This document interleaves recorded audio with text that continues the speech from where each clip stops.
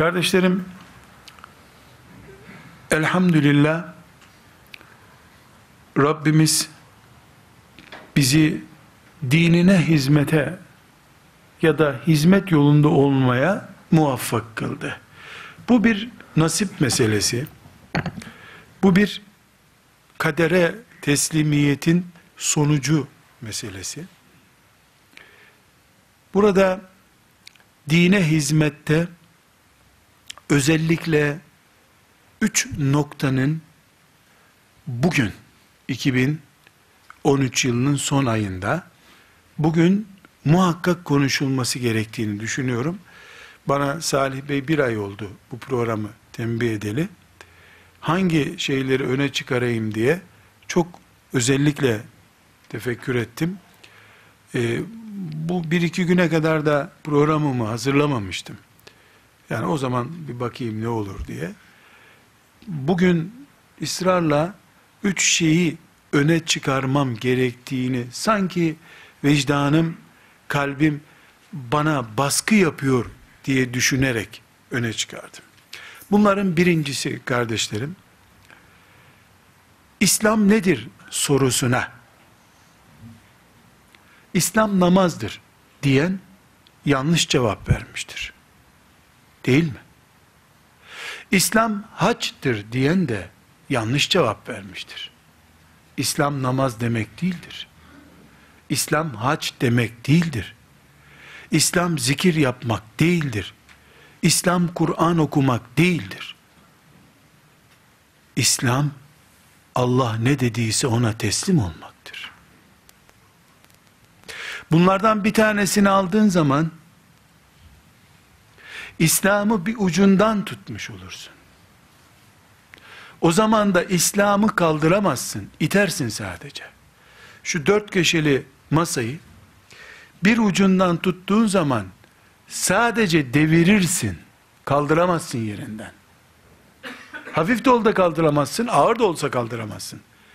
Çünkü dört köşeli bir nesneyi dört köşesini dengeli bir şekilde kaldırdığın zaman kaldırmış olursun. Üstündekileri devirmeden. Bir tarafından tuttuğun zaman pazın ne kadar güçlü olduğunu zannedersen et, üstündekileri devirmek zorundasın. İslam'ı sadece namazından yakalayanlar bu hatayı yapıyorlar. Faizci Müslüman üretiyorlar bu sefer. Masanın üstündeki faiz yasağını deviriyor çünkü. Sadece Kur'an okutmayı zannedenler, camide namaz kılmayı zannedenler aynı hatayı yapıyorlar. Sadece tarikatla İslam'ı Allah'ın emrini yerine getireceğini zannedenler İslam'ın üstünde ne varsa deviriyorlar ona. Müminleri parça parça ediyorlar. İslam'ı bütün olarak alacaksın. Becerip becerememen başka bir şey. Bir hoca efendinin yüz konuşmasında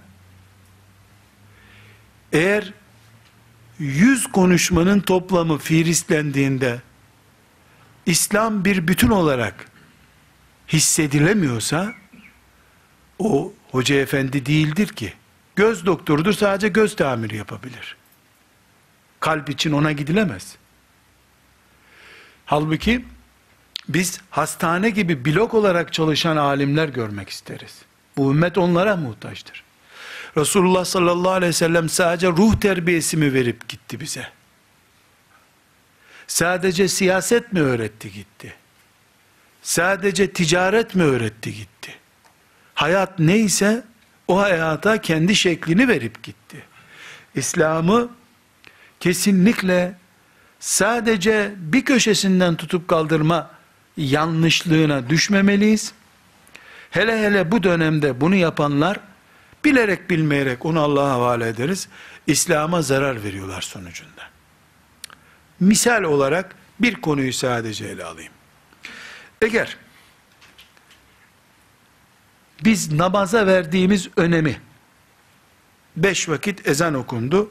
Ezanla beraber mikrofon müezzinin önüne geçti. Bizi çağırdı. Biz de gittik. Bu beş vakit namazı gördüğümüz göz müminlerle kardeş olma düzeyinde bir şuursa ya da kardeşlik anlayışımız namaz gibi bir şuur anlayışıysa İslam'ı biliyoruz demektir. Abdestsiz namaz kıldın değil mi deyince şakasına bile tahammül edemiyoruz değil mi? Abdestsiz namaz. Deli misin lan ben Müslümanım lan. Abdestsiz namaz olur mu? Peki mümini gıybet ettin. Abdestsiz namaz kılanla ilgili bir ayet yok. Mümini gıybet edene öldürüp etinden kebap yaptın Allah diyor. E sen Kur'an'a iman etmiş Müslümansın. Kur'an'dan namaz ayetlerini almışsın. Gıybet ayetini almıyorsun. İftira ediyorsun.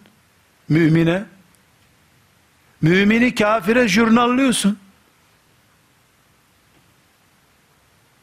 Mümini satmaz diyor Resulullah sallallahu aleyhi ve sellem. Mümin, müminin kardeşidir. Onu düşmanına satmaz diyor. Bu Resulullah vasiyeti değil mi aleyhissalatü vesselam? Şefaat ya Resulullah demekle Muhammed dizci oluyorsun. Mümini kafire satıyorsun. Niye? E canım mümin ama bizden değil. Ha. Sen İslam'ı bir vidasından tutup alıyorsun. Arkadaşlar bir gün otomobille ilgilenen bir arkadaşım bir soru sordu. Ben de onu nasıl bilmiyorsun? Çok basit bir mesele dedim. Namazla ilgiliydi. Dedi ki hocam dedi ya namazın her şeyini bileceğim bileceksin tabii dedim. Kılmıyor musun dedim. Peki hocam özür dilerim dedi. Bir dakika sonra dedik hocam senin araban var mı? Var dedim. Ehliyetin var mı dedim. Var dedim. Kaç vida var bir arabada dedi. Allah Allah. Ne bileyim kaç vida var senin arabanda dedim. Ben dedi kıldığım namazın bir parçasını bilmiyorum olmuyor da sen bindiğin arabanın vida sayısını niye bilmiyorsun dedi. Lan doğru haklısın dedim. Ben de senden özür diliyorum dedim. Ama ben sana cevap verdim. Şimdi sen de bana cevap verdin. Beş bin parça var bir arabada hocam dedi. Ve bunların hiçbir tanesi olmadığında o araba yürüyecek araba değildir dedi. En basit vida motoru yerinden düşürür. Kapıdaki bir conta da dahil buna dedi. Şimdi arkadaşlar niye İslam bir parçası olmayınca olabiliyor? Basit bir Japon arabasının bir vidası olmayınca yolda kalıyorsun da İslam'ın hıyanet denecek kadar ağır bir parçası olmuyor sende ama mükemmel Müslüman oluyorsun. Hayır. Onun için camia değiliz biz diyorum. Cemaat de değiliz. Kardeşiz. Çünkü Rabbimiz bizi ey Müslüman cemaat diye isimlendirmiyor. Mümin kardeşler değiliz. İnnemel müminune ihvetun. Allah Hasan el-Benna'ya rahmet eylesin. 20. asrın başına damgasını vuran teşkilatını mümin kardeşler olarak, Müslüman kardeşler olarak kurdu. Biz kardeşlikten başka bir isim kabul etmeyiz. Hocalarımızın elini melini öpmemize gerek yok. Hoca da kardeş zaten. Büyük kardeş o kadar. İslam'ı parçasından tutanlar, masayı bir köşesinden kaldırmaya çalışanlardır. Üstünü devirecek masanın. Yazık edecek masamızın üstündekilere. Şimdi devirmedi, tam kaldırmadı çünkü. Tam masa onun eline geçince her şey devrilecek üstünden. Cemaatmiş, camiaymış, kitleymiş, blokmuş, grupmuş, fırkaymış. Böyle isimlerle ilgilenmiyoruz. Mümin kardeşleriz elhamdülillah. Müminin mümindeki en büyük haklarından biri ölür, onu ölüme sevk etmez ama onu düşmanına teslim etmez diyor Resulullah sallallahu aleyhi ve sellem. Ama tabi aynı şirkette çalışıyorlarsa, şirketler farklıysa, e menfaat meselesini inceleriz tekrar. Denir mi bilmiyorum. Biz genel hatlarıyla konuşuyoruz. Dolayısıyla kardeşler bu dönemde inşallah da e, kardeşiniz olarak ve onun e, mutfağını hazırlayan abileri, kardeşleri olarak hepimizin yapmak istediği şey burada, bu gönüllüler toplantımızın da ona destek olmasını Allah'tan diliyorum. Masanın üstünden hiçbir şey dağıtmadan yol almak istiyoruz. Hep beraber kaldıracağız bunu. Hep beraber kaldıracağız. Sadece zengin ve zekilerle uğraşarak İslam'a hizmet olmuyor. Çift Z cemaati olmaz hiçbir zaman. Zengin ve zeki. Ama adam zeki olmayacak. Adamın zekisi iyi değil, çok soru sorar. Aptal zengin adamlar ama zeki çocuklar. Bu ashab-ı kiramın tanımadığı bir metot, lanet ettiği metottur üstelik. Öyle yapsaydı Resulullah sallallahu aleyhi ve sellem Abese suresi inmezdi. Zenginleri kovdu Allah. Bilal'le e, ve Abdullah'la otur sen dedi. Çulsuz Bilallerle oturmak dinidir bu din. Zengin ve zekilerin dini değiliz. Herkesin diniyiz. Elhamdülillah. Burada kardeşler bir noktayı vurgulamıyorum. Ama gidişat, dikkat ediniz. Dedim ki cemaat meselesi, camia meselesi konuşuluyor. Biz burada kardeşlik öne çıkarıyoruz. Kardeşliğimizin temel mantığını oturtmak istiyorum. Allah için çalışmakta İslam'ı bütün olarak almak vardır. Bütün olan İslam'ın bir parçasını alarak İslam'a hizmet edemezsin. İslam'a zarar vermeye başlarsın. Çünkü üstünde yüz çeşit parça bulunan bir masanın ucundan tuttun sen, kaldırdın, denge bozuldu. Fakirler o tarafa düştü, filancılar bu tarafa düştü. Sonra ne olacak? Başka kullar gönderip yeniden toplayacak Allah onları. Sen masayı kaldırmak yerine toparlatmaya sebep oldun. Bu birinci noktamız. İslam Allah'ın emrettiği her şeyin adıdır. Namaz onlardan bir tanedir sadece. Evet namaz motoru filan yere bağlayan önemli bir şahsedir. Bunu kabul ediyoruz. Namaz basit bir vida değil. Kapı kolu değil mesela namaz. Ama tek şaseyle de araba araba olmuyor. Bize Sultan Fatih'in İstanbul'u fethinden sonra bir dönem işte Viyana'ya gidilene kadar İslam bütün anlatıldı. Viyana'dan beri de hep İslam böyle anlatılıyor.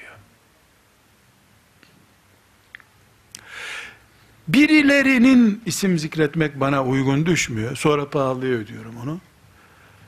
Birilerinin Birleşmiş Milletler tarafından bile filan yılın adamı olarak, filan yüzyılın adamı olarak anılması, İngiltere'den izleyicilerinin gelmesinin sırrını anlamak lazım.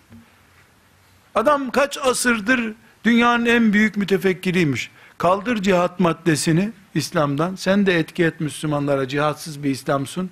Ayaklarını da öper İngilizler merak etme.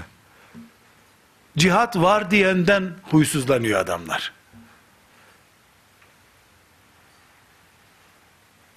Kardeşler, birinci meselemiz bu. İkinci meselemiz, ben Nurettin Yıldız'ım. Bir cemaatin başı değilim, ebediyen olmayacağım inşallah. Benim cemaatim yok, peygamberim var. E, Ebu Hanife de benim başım zaten. Ben bir daha başa ihtiyaç yok. Bir sürü baş, koparılacak bir sürü baş var. Büyütecek başa ihtiyaç yok. Nurettin Yıldız'ım. Ama 5-10 tane kardeşim beni abileri biliyorlar. Sizler hocası biliyorsunuz. Ben size en büyük hıyanetimi ne zaman yapmış olabilirim? Mesela sizden toplanmış paraları toplamadık elhamdülillah ama diyelim bir gün para topladık. Bunları cebime indirsem bu hıyanet midir? Elbette hıyanettir. Ama bundan büyük hıyanet var. Peki filan mesele haram olduğu halde ben onu size helal olarak tanıtsam, bu da bir hıyanet midir? Kasten yaptım. Valla bu da hıyanettir ama en büyük hıyanet değildir. Biri gelir bunu düzeltir çünkü. Zaten sağlığında düzeltir. Lan Nurattin Hoca yanlış söylüyor, aldanmayın bu adama der. Hafif aklı olan da bir bakalım ne hakikaten yanlış mı söylüyor der, düzelir bu. Bir baş olarak, müminlerin onbaşısı, yüzbaşısı olarak, diyelim, yapabileceğim en büyük hıyanet, kendimi tapınılır adam seviyesine getirmemdir. Bilerek, bilmeyerek. Elbette uzat ayağını, öpelim ayağını kimse demez ebediyen. O dönem geçti dünyadan. Ama bir örnek vereceğim. Sahabeden biri geliyor, Diyor ki ya Resulallah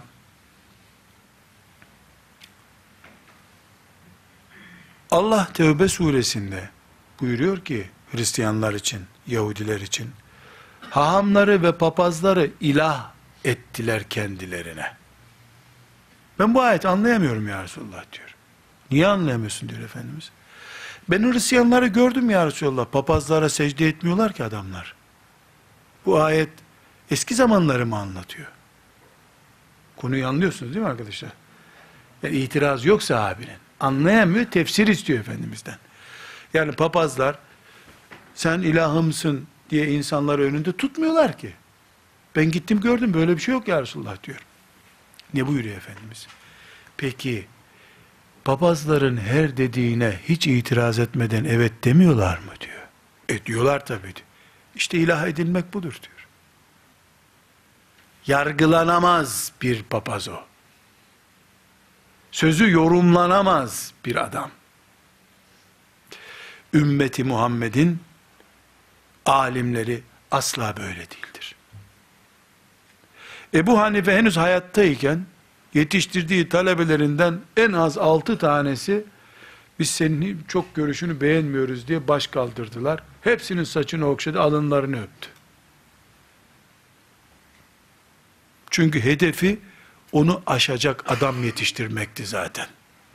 Gayeme ulaştım diye şükür secdesi yapmıştır herhalde. Abdest bozulması bile bir hikmete binaen olan insanlar bu ümmetin alimleri değildir. Bu ümmetin alimi, şeyhi Allah'ın ve peygamberinin önünde kendisini yok sayan insandır. Ben yokum. Üç talebesi hiç itiraz etmeden peki deyince bir dostunu çağırıp benim imanımda bir bozukluk mu var? Kimse bana bugün yok demedi ya diye tereddüt eden insan alim insandır. Ümmetin lideri bu adamdır. Ömer'in karşısında bile kalkıp Ömer sen ileri geri konuşmaya başladın denebildi. Mülhem adam olduğu halde fakat Ömer'den asırlar sonra gelenlerin yanlışlarına bile hikmet gözüyle bakılabildiyse, bu ümmetin temel anlayışında sıkıntılar oluştu demektir. O zaman hahamlarını, papazlarını ilahlaştıran anlayış ortaya çıkmaya başladı demektir. İnşallah Rabbimiz korur ve ihsan ederse bu bizde olmayacak. Olduğu zaman destek olmazsanız siz Allah'la baş başa kaldınız demektir. Hakikati söylüyorum, rica ediyorum. Böyle yapın diyorum. Ama şaka maka Karadeniz çocuğu olduğumuzu da unutmayın. Yani böyle dedim diye her yerli değilim. Karadenizliyim. Her yerden değilim. Yani ben ümmetime hizmet etmek istiyorum. Ee, şu konuşmamız bile bir önceki gönüller toplantımız mesela en az geçen de onu değerlendirdik. Hiç değilse 150 kişi ağlayarak bana anlattı. Mesela adam arıyor. Selamun aleyküm aleyküm selam. Almanya'dan arıyor. Hocam bir şey söyleyeceğim. Buyur. Morale ihtiyacım varmış yani bir gönüller toplantısında anlattın. Allah benim bütün sevaplarımı sana yazsın. Al sana moral diyor. İstemem lan. Sen dua et yeter. Adam ne diyeceğini şaşırıyor. Yani bu bile çok ciddi bir şekilde dünyaya yayılıyor. Dolayısıyla ben bugün burada mı bulunsam iyi?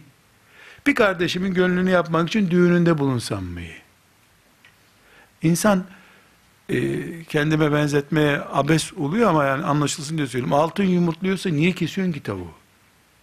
Demek ki senin asas derdin altın da değil. Yani altının kıymetini de bilmiyorsun sen o zaman. Yani kardeşler her yere bir Nurattin Hoca arıyorsun ama o kadar da kolay olmuyor Nurattin Hoca. Delirmemek için çok uğraşıyor Nurattin Hoca. Çocuklarını özlediği zamanlar oluyor. Tam 20 metre ötede benim evim. Çocuk özlüyorum ben. Bizim de evimiz, parkımız var ama onları konuşma ve düşünme zamanı bitti artık.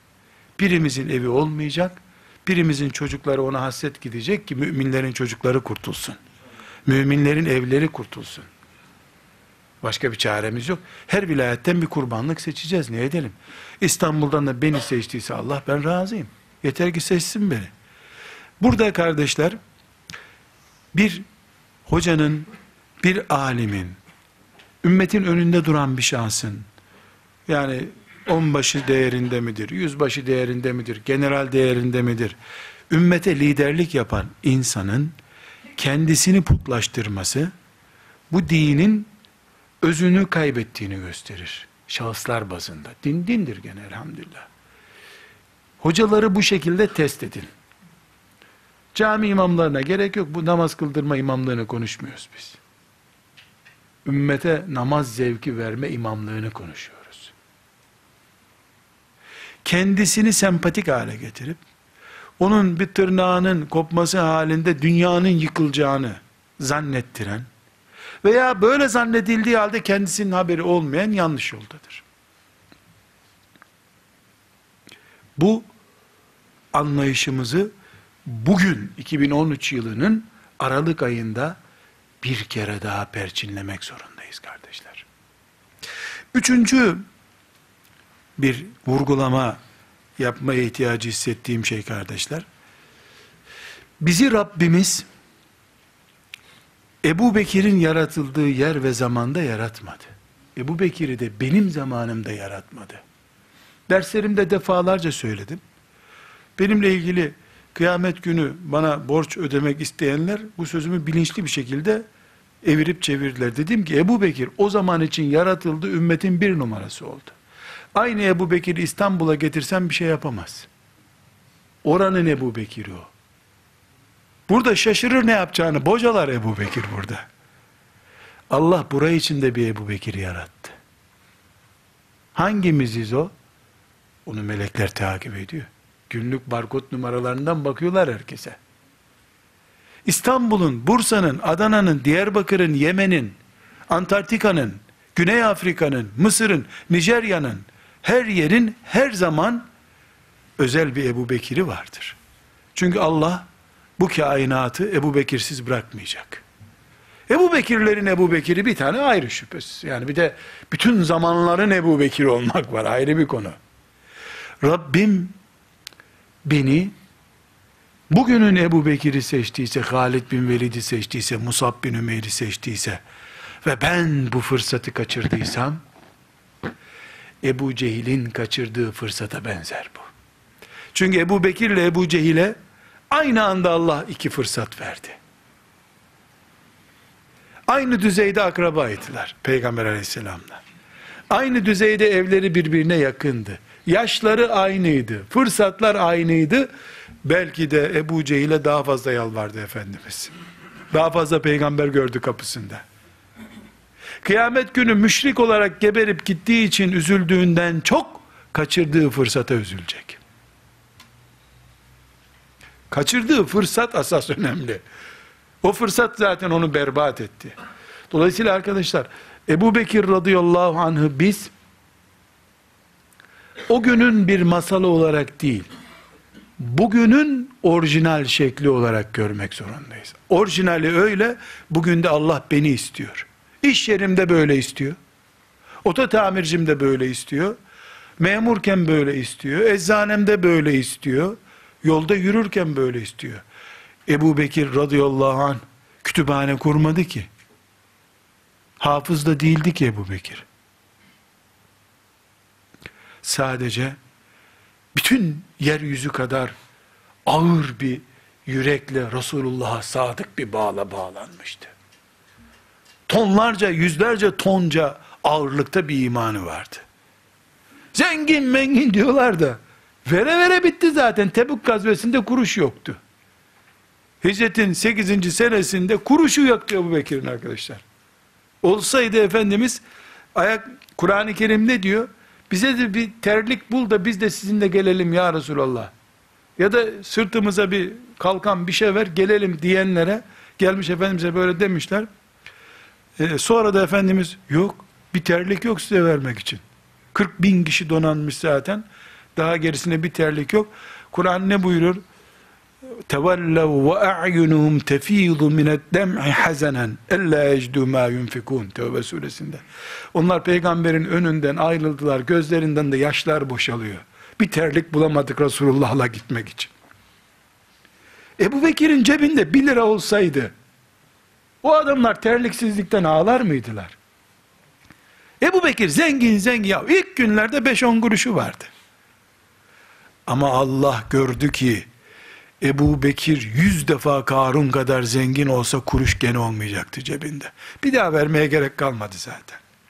Çünkü Allah verdiklerini saymadı. Vermek istediklerini saydı Ebu Bekir'in.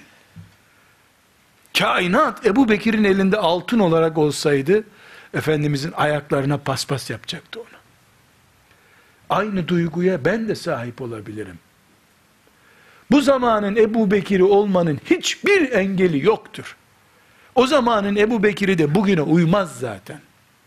Aynı imanla gelse Ebu Bekir, elbette bugün de gene bilgisayara karşı yapacağını yapar o merak etme sen. Ama oradan şablonunu alıp geldiğinde buranın Ebu Bekir'i değil o. Radıyallahu anhu. Bundan görünüyor ki arkadaşlar.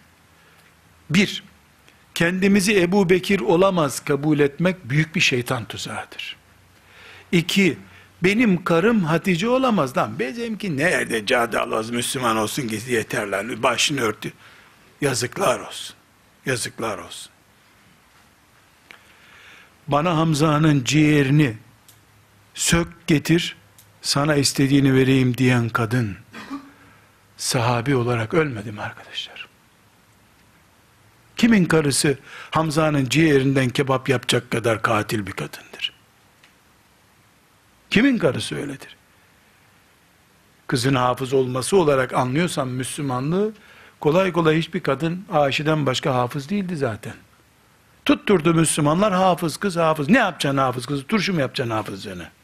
Ömrünün üçte birinde Kur'an'a tutamayacak bu zaten. Doğumu, gebeliği, hamileliği derken ömrünün işte ikisinde tutamayacak.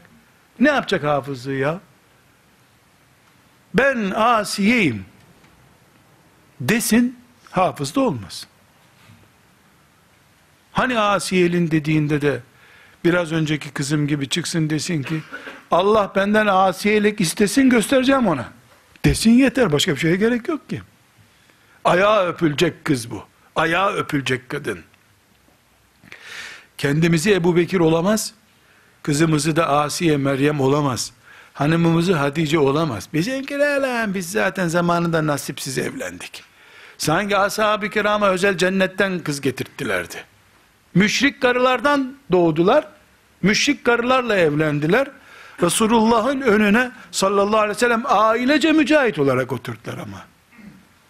Tabi başkasının kızına kaval çalmak kolay oluyor. Kendi kızını eğitmek zor tabi.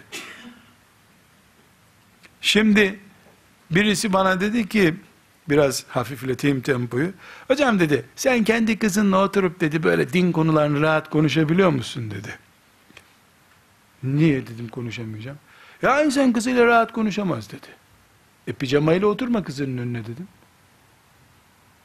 Normal kıyafetinle otur utanmamak için. Bu nasıl bir Müslümanlık anlayıştır ki kendi kızınla konuşmaya utanıyorsun. Ulan sen karınla da konuşamazsın kızından daha akıllı.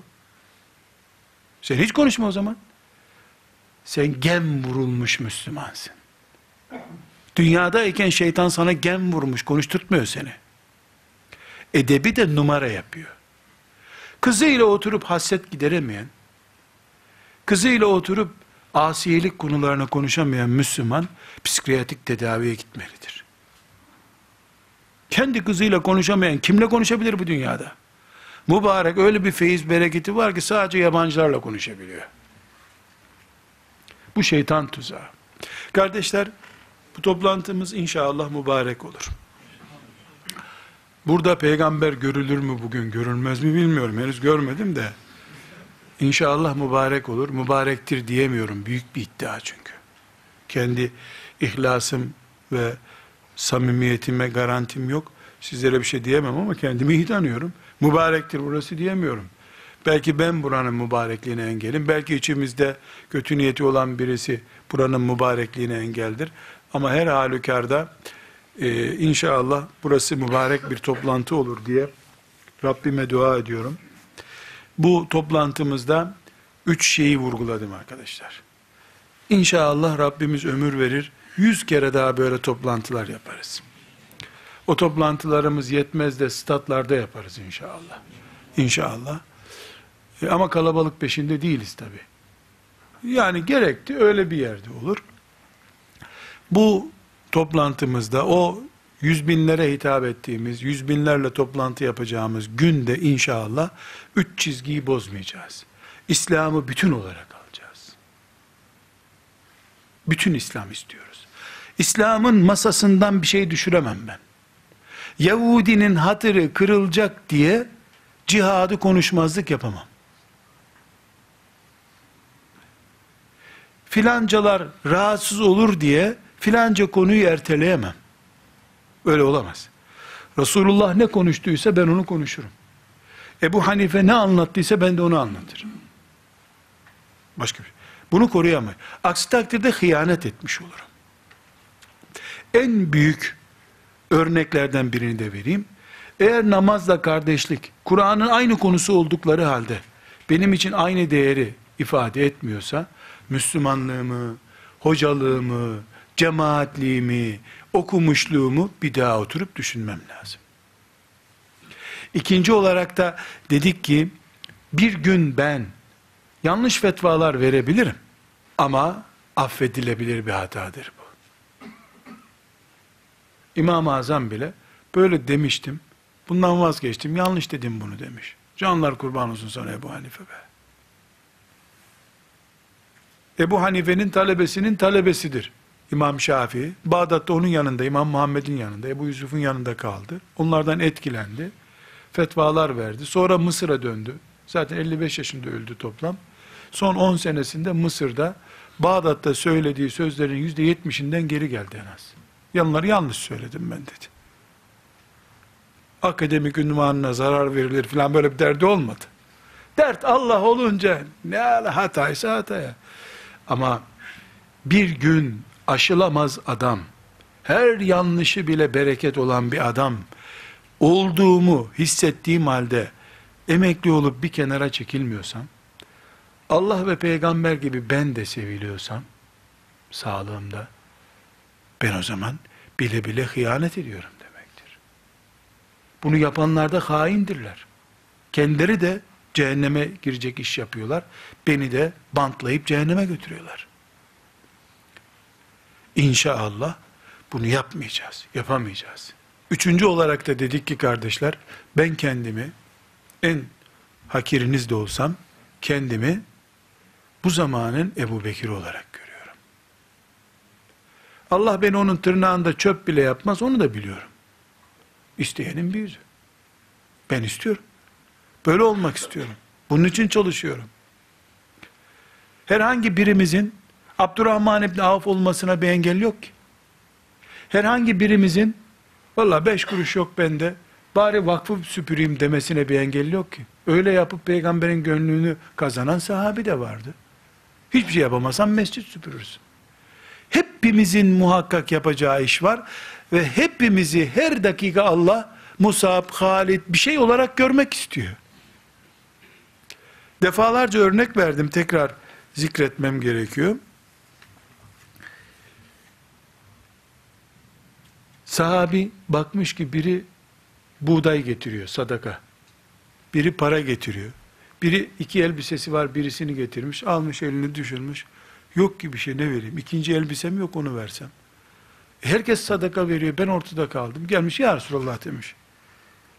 Herkes bir şey veriyor. Ben de verecek bir şey yok. Kim bana sataştıysa sadaka olarak ben de ona hakkımı helal ettim demiş.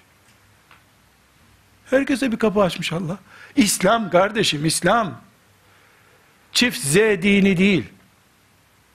Herkesin dini elhamdülillah. Fakirsen al sana da Allah'ın açtığı kapı işte. Sadece zenginlere rahmet ulufeleri dağıtan, fakirlere de e siz de deri toplarsınız kurbanda e, diyen din İslam dini değildir. Beş senede bir oy ver gerisine karışma denen din de değildir bizdeki. Herkes her dakika Ebu Bekir heyecanı ile yaşamak zorundadır. E ne biliyorsun Allah'ın bana onu yazdığını? Bilsem zaten konuşmazdım böyle. Ben böyle yaşamak istiyorum. Ölürken melekler bu adamın derdi neydi diye merak ettiklerinde derdimin Ebu Bekir olmak olduğunu görsünler. Tutar tutmaz ya nasip. Kardeşler hepinize reisimiz adına, hocalarımız adına tekrar tekrar ben teşekkür ediyorum. Geldiniz. Bizim için moral oldu.